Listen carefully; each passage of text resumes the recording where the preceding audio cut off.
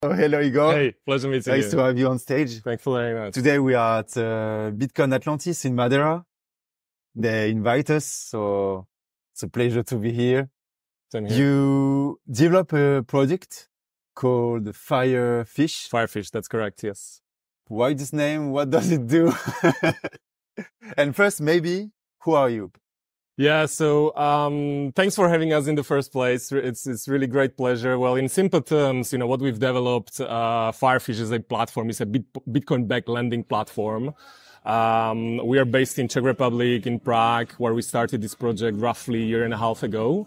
Uh, we've launched the platform uh, mid summer last year, and really the main focus of the platform is to help Bitcoiners to never sell their Bitcoin, right? So the key, key, key message, the key story here is, uh, you know, we all are sitting on this, uh, pristine asset, I would say. Mm-hmm. Um, you know, and normally people kind of sort of expect Bitcoin price to go to the moon. You know, you're, you're, you're sort of stacking, you're buying more.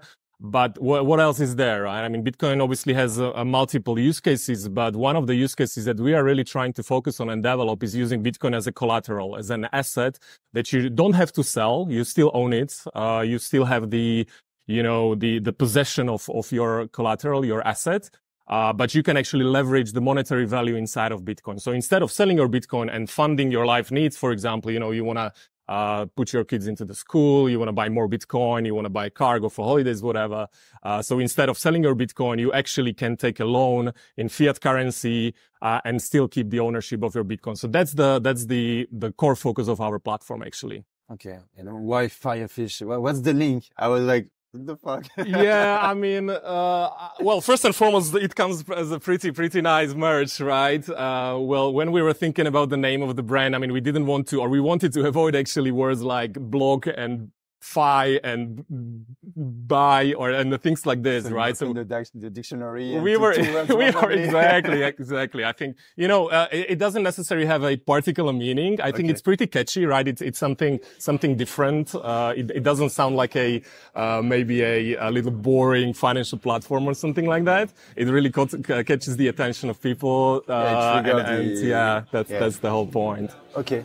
And um, so with your application, we could like just uh, put our Bitcoin without using some weird stuff like uh, wrap BTC on Ethereum and uh, Absolutely, absolutely. So, Okay. so this is this is actually uh, when we when we talk about a couple of the key benefits of the platform. Uh, one of them is definitely that it's Bitcoin native, right? So first and foremost, we are not using any other layers. We're not sending your Bitcoin to any other protocol. because today what, what are the solutions if we don't use yours? Correct. So, I mean, you have basically two options. One option is uh, relying on custodial services, meaning I send my Bitcoin to someone and then then pray that they're gonna return my Bitcoin once I repay my loan. Uh, and then the other option is DeFi, obviously, right? So there are there are channels or there are basically uh, options for you as as a Bitcoiner to leverage your Bitcoin as a collateral, but obviously you are wrapping it, bridging it into an, other networks. So it's bringing a lot of additional unnecessary risks, right? So our main aim was really to kind of bring something that is Bitcoin native, something that doesn't uh, kind of puts you in front of, of risks that really are not necessary in terms of you know your willingness to use Bitcoin as a collateral. So that's why the platform is really built on layer one, on uh, on basically Bitcoin blockchain. That's where you actually are locking your Bitcoin. And the other point that is very much related to this uh, is the fact that it's a non-custodial service, right? So Firefish is not a custodial. We do not manage your collateral. We do not touch your Bitcoin. We are only helping you to lock your Bitcoin through a very specific, what we call a protocol, Firefish protocol, directly on on uh, Bitcoin blockchain. So you're basically creating an escrow almost uh, on directly on blockchain. Once your Bitcoin is locked, you get the money from uh, from some counterparty, basically. Okay, can we do an example? Like I'm connecting to your application. Uh, I want um, like lend my Bitcoin. So I will do a transaction, I guess. So And wha what's going on? So I guess I guess if we take one one step back, actually, maybe one thing that we haven't touched on is the fact that uh, we are actually a marketplace. So you Okay. have always borrowers and lenders. You have both both sides of the equation. Borrowers are people who hold their who have Bitcoin, who have some funding needs. You know, they need fiat currency, uh, you know, for whatever purpose. And then on the other side, you have lenders, right? So lenders are people who have uh, fiat currency, euros, dollars, whatever other currency, and they obviously want to do something with their money. I mean, you can obviously nowadays uh, put your money in a bank for, I don't know, two and a half, three percent for euros. We know that the inflation is uh, almost double digits, right? So basically your money is losing, losing the power. Uh, but what you could do, you could actually invest your uh, euros or dollars into Bitcoin backed loans, right? So we are actually a platform that is helping to match borrowers with lenders you as a borrower, you come to our platform, say, Hey guys, I want uh, $10,000 for one year. Uh, we're going to help you to find a counterparty, a lender who has $10,000 uh, available. And then we're going to help you to lock your Bitcoin. Once you lock your Bitcoin, uh, the, your lender will get notified like, Hey, Bitcoin is stored and you can transfer the money to this particular person, to the, to the borrower. Okay, so okay. we are actually the platform that is really helping to match both parties, borrowers and lenders. Uh, at the same time, we're the platform that is helping you to lock uh, your Bitcoin on a non-custodial way. Okay. And then when it's locked, uh, and when you have to, to pay back the, the lenders, how does it work? You, it's like a wire transfer? Yeah. So, so, uh, currently, I mean, we really wanted to launch the platform, uh, in the simplest terms possible. So really now the relationship is peer to peer, you know, and it's a relationship, uh, between the borrower and lender where the lender is sending money via a bank transfer, right? So literally, uh, once you lock your Bitcoin, your lender gets a notification. This is the bank account where you should send the money. You send the money. Once you receive the money, you confirm, yes, that's it. Deal is live. Okay. It's directly to the, Correct. to the guy yes. bank yeah. account. Yeah. Yeah without your without, no, that's, and that's a very important okay. point. Exactly. Like we are also trying to remove the fact that uh, or our, all, all the other additional risks, I would say, like you don't have to trust Firefish, right? So we are not processing your fiat transfers. We're not processing your Bitcoin. We're not touching anything. We're only helping to match you two, uh, two guys together. You lock your Bitcoin and the, uh, the, your counterparty sends you the money directly. I don't want to destroy your business, but try, try. could, could it be open source? Uh, of course, uh, of course. Yeah. I mean, uh, so uh, we've launched the, as I mentioned, we've launched the platforms uh, roughly six months ago uh, with a pretty solid traction. Actually, I mean, we haven't been promoting it too much because we've been finalizing some of the details on the platform. but until now, I mean, we've we've processed hundreds and hundreds of deals. There are up to now, uh, we've processed around 10 million worth of Bitcoin, uh, you know, through through our escrow, which is which is pretty solid. Uh, but obviously, once once we finalize the platform, which is going to be very soon, actually, we're going to add some some of the new features. We want to make the code open source, right? Okay. So, uh, so what I what I replicate what you're doing and try to create a new marketplace. You potentially could, absolutely, okay. absolutely, and that's also the beauty of Firefish. Actually, like if you're running, uh, let's say, a different platform, if you're an exchange, if you're a, even a custodial, or if you if you have any other marketplace, you could actually plug in Firefish protocol into your platform and and uh, sort of leverage leverage the benefits uh, of okay. what it brings. So cool. Okay. And um, right now, there is way more people that are trying to leverage on Bitcoin. Yeah. So that there is this uh, funding rate. So like the, the people that want to to short are uh, so smaller that the, they are paid to short. Yes, yes. So how much today we are paid to give fiat currencies to Bitcoiners yeah. that want to like leverage? I think what is important to mention here is first and foremost that the loans are over collateralized, right? So for example, uh, if you want to borrow 10,000 worth of uh, euros mm-hmm. or 10,000 euros, basically, you would need to deposit by default twice as much of Bitcoin because we know there's volatility, you know, Bitcoin fluctuates. So to protect the lender, you are putting a bit more, uh, a bit more collateral than, you know, the, the actual amount. So this actually decreases the risk significantly, right? So imagine, you know, uh, you want to borrow really 10,000 and someone deposits, uh, uh, or you deposit actually 20, 20,000 worth of Bitcoin, which is pretty, pretty solid because I know that, okay, Bitcoin would need to fall, I don't know, 50%, 60% for me to get liquidated, obviously. Uh, so, so with this fact, you are actually decreasing the risks, right? The other way, the other important element in terms of uh, decreasing of the risks is that uh, no one can touch your collateral. Your collateral is locked on, on blockchain uh, until the moment you repay the loan, so then it's returned to you.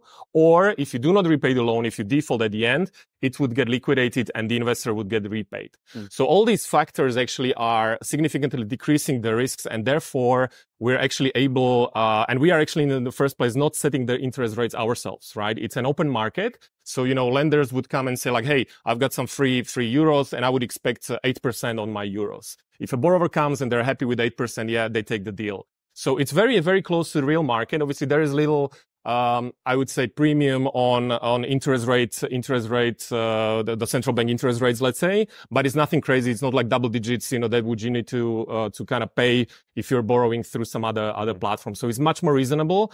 And obviously, uh, we're always trying, uh, as it's an open market space, actually, it's balancing itself, right? So the borrowers would always kind of be, be fighting, you know, with the, with the lenders and they would find an interest rate that is still pretty, pretty solid for the borrower. So it's not too expensive, in other words, and it's still interesting for the lenders, right? So lender, you know, if I have three euros, I have a couple of options, right? I can buy, I don't know, bonds. I can put my money in the bank. Uh, or I can go for some more risky assets. But obviously this asset or this particular deal, the over collateralized loans are very low in terms of their risk profile. That's why it wouldn't make sense if I expect 20% uh, sort of interest rate on such such a deal, right? So that's why that's why that's the beauty of the marketplace that is really balancing the interest rates. And uh, that's also what Firefish does, as uh, as I mentioned, that we are we are a marketplace, so we are not actually defining what the interest rates are, right? It's the supply mm-hmm. and demand uh, of both sides. So currently, I mean, uh, we can tell you in the last couple of months the amount of deals we've done. Euros, you would be able to borrow euros for let's say seven eight percent um, dollars, pretty similar, right? So obviously, always you have the benchmark, the central bank interest rate, but overall the rates are much more attractive, I would say, than uh, on on some some other platforms where you say where you pay double digits. Just, just to compare with what is um, available today with the DeFi, mm-hmm.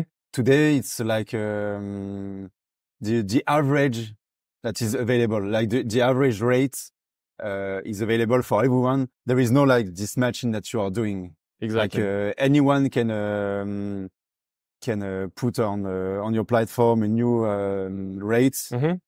Even if no one wants like to to borrow for twenty percent, it's available for them. In principle, yes. So yeah. again, as I said, we are we are obviously we are trying to help the market a little. So we, you know, if you go there with 20%, yeah. no one's going to take you, right? No one's going to make a deal with you. So, um, but the beauty is that, as I mentioned, we we let the market to decide what mm. is the good mm. interest mm. rate. If if you have a borrower who's willing to pay 10%, fair enough, let them do it, right? Mm. If you see that you put there your euros for 15% and no one is no one is uh, kind of being matched with you, then obviously maybe you should decrease the interest rate. So the open market principle is very important for us. And uh, as I said, as we are not a balance sheet lender, so the money is not coming from us, that we are not the the lender uh, that is uh, providing these loans it is the market defining and deciding on what the fair interest rate is, right? So we feel that that is much stronger proposition than if you're just fixing an interest rate and then yeah, yeah, yeah. you either take it or, or leave it, right? So we leave it up to the market. We leave it up to the users, uh, borrowers and lenders to define, you know, what is the fair interest rate. Okay. And, um, in the long run, do you think the interest will go down or up? I mean, in principle, if you think about the um, the structure of the deal, right? So it's an over collateralized loan. So what is the risk that I'm not going to get my money back? It, it is it's almost non-existent, right? Because there's Bitcoin is super liquid. You can trade it 24 seven. You know, there's automated trading. So whenever there would be a, a default of a borrower, you can liquidate Bitcoin instantly, right? So, uh, the risk of, of, for a lender of not getting paid at the end of the day is, is extremely low. So therefore, we feel that this uh, this kind of setup should have, uh, or the interest rate should be much lower uh, or should be actually lower for for both sides uh, because of the of the risk profile of the instrument. Now, at the same time, uh, as I mentioned, like if you're a lender, you are always considering other alternatives that you have in the market, right? So if I can invest my euros for five percent, almost risk free, uh, why would I invest for three percent, right? So you're always, you know, there's this economical thinking behind it. Mm. So uh, we believe that interest rates will, will always, in a way, kind of kind of copy the, the the central bank bench, benchmark rates right? But they will never be uh, too high, uh, thanks to the fact that the risk profile of the of the product is, is so low. Yeah, for for me there is uh, two two point that is uh, kind of mysterious. Like, how do you define, uh, like you you're getting back the money with wire transfer? Mm-hmm. But how does it trigger the moment that uh, you know that everything has been paid? Yeah. And yeah. in case that you just uh, disappear, yeah. there is no more uh, you in the in the middle. How does it work? That's a that's a very good question. And uh, so as I mentioned at the very beginning, we we came with the simplest way possible, which is direct wire transfer, right? So uh, in this in this setup, we would need to uh, uh, expect confirmation from both sides. So, for example, if you borrow ten thousand dollars I'm going to be sending you the money. I need to tell Firefish like, Hey, I've sent the money to the borrower. And you as the borrower, you would have to uh, sort of confirm that yes, you've received the money, right? So that, that would be the standard, uh, standard, uh, sort of process. Once Firefish gets confirmation from you and from me, from, from lender and the borrower, we, we can treat the deal as a live deal. Now, obviously, what can happen that you're on a boat trip for two months and you're not able to respond. So, uh, Firefish has a, uh, what we call an escalation procedure in which then we're going to be checking both parties like, okay, you need to disclose or you need to confirm with an official statement that you have sent the money from your bank. Then I'm going to be asking, or Firefish would be asking the lender, like, show us that you actually haven't received the money, right? So we do have a procedure that takes a couple of rounds, you know, of uh, sort of a ping pong uh, procedure between the borrower and lender, uh, up to a point when we have enough uh, proof that the, either the transfer failed or the transfer really happened, but one party is just not responding. So for example, at the end of, of a loan, if uh, you do not tell us that you've sent the money, but the lender says like, hey, actually, I have received the money, that's good enough. You know, we treat the deal as closed. In case the borrower would stop communi- communicating completely, would never send the money back at the end, for example, there is still the collateral that will be liquidated and the investor would get the money back. I think the beauty of this is that no borrower, no Bitcoiner wants to get their collateral liquidated, right? So, uh, I mean, touchwood until now we had zero sort of delinquencies or zero liquidations. Uh, so people really want to leverage the collateral, but they never want to give up uh, on that, right? But the other thing is as well, I mean, obviously wire transfers are, are uh, scalable up to a certain, certain point, right? So, I mean, if you have uh, people from different continents, let's say, I mean, it's difficult to send money from, I don't know, even France to, to Venezuela, right? That would be really difficult. So, uh, we are obviously working on different, different channels and different ways of how we can facilitate these transfers.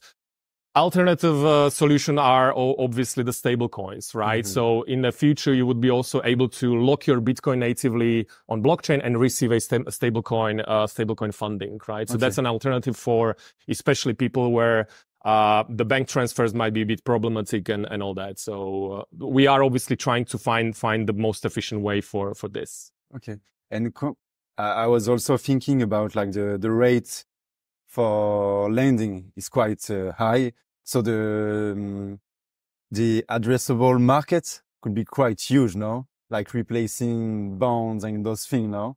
I mean, uh, yeah, sky is the limit in a way, right? Uh, or the accessible liquidity is the limit, I would say, because uh, if you, if you think about it, uh, we have really built a, a, a money market instrument almost, right? It, it is a bilateral deal, bilateral loan that you can fund with your free money. Mm-hmm. So, I mean, uh, all our friends and family who are not even Bitcoiners are actually using our platform because the uh, interest rates are much more attractive yeah. than in a bank.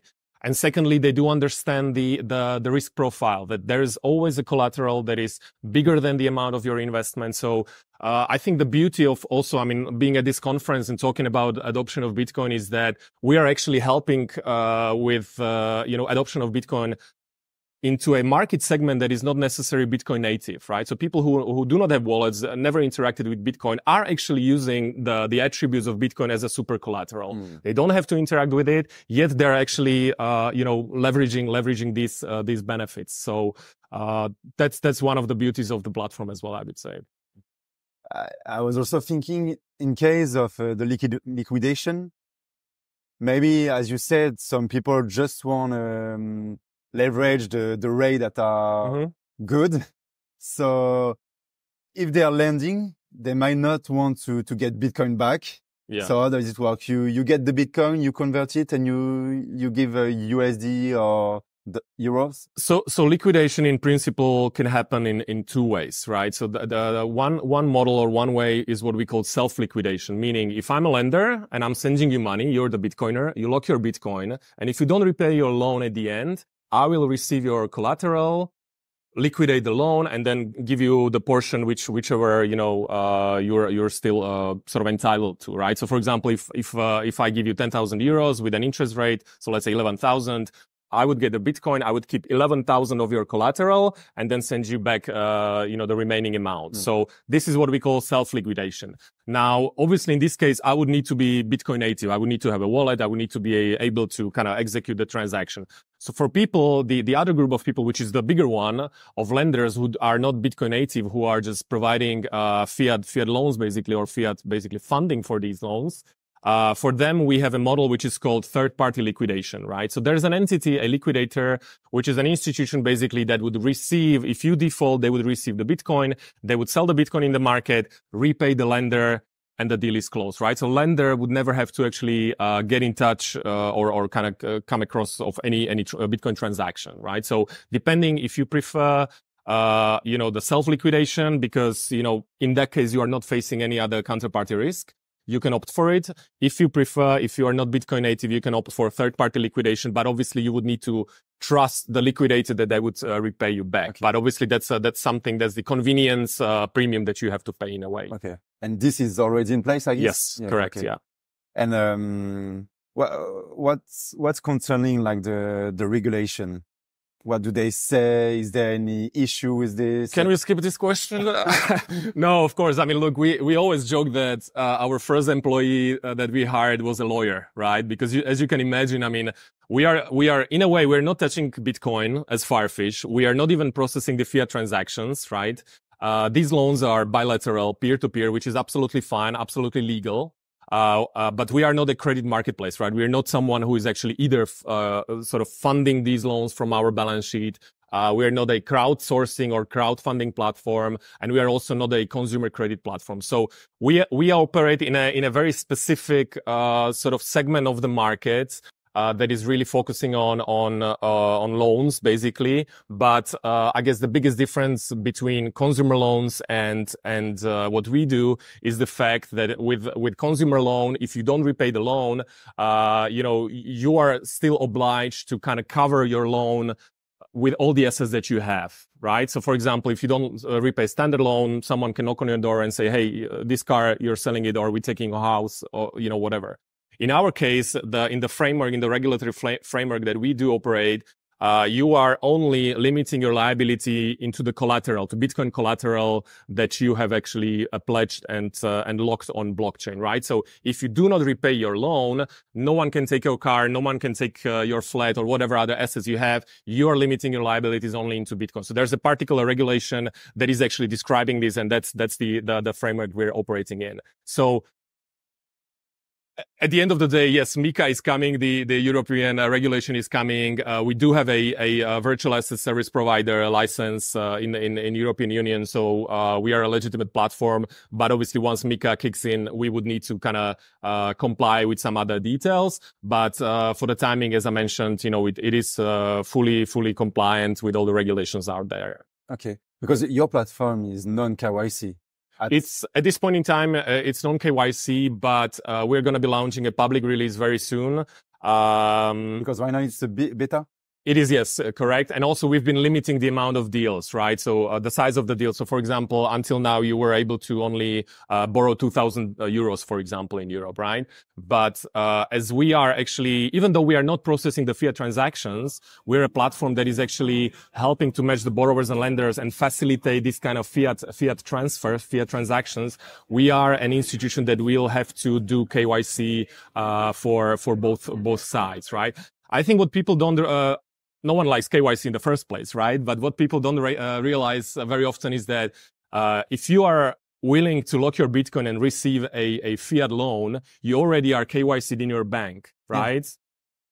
Vast majority of people are still buying Bitcoin on exchanges, so you're KYC'd on the exchange, right? So, so the process with uh, with the KYC with Firefish will not be uh, any much more draconic uh, or, or, or dramatic, uh, you would just uh, do the same process as you would uh, if you're opening an account in an exchange or something similar.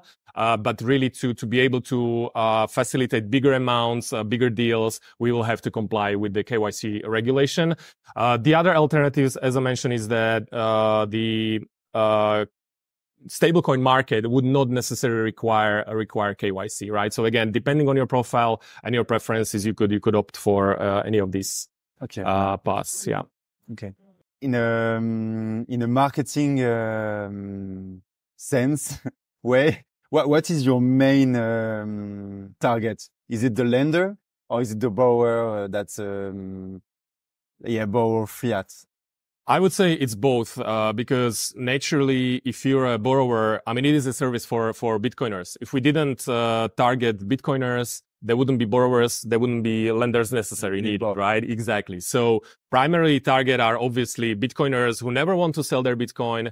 We don't want them to sell their Bitcoin. Don't want to uh, get them to get liquidated and all that. So th- this is the primary target audience that still, I mean, we still live in a fiat world, right? I mean, uh, even though many people do have their income in, in, in, Bitcoin, you still have to pay electricity bills. You need to still pay your, your mortgage, you know, and, and all that. So we are really a service that is helping Bitcoiners to get their funding, life funding needs, uh, covered by locking their Bitcoin, never selling it, and getting getting uh, their uh, their funding uh, as they require. But obviously, the other target audience are are holders of fiat, right? As I mentioned, I mean, um, if your mom uh, has 10,000 euros, exactly.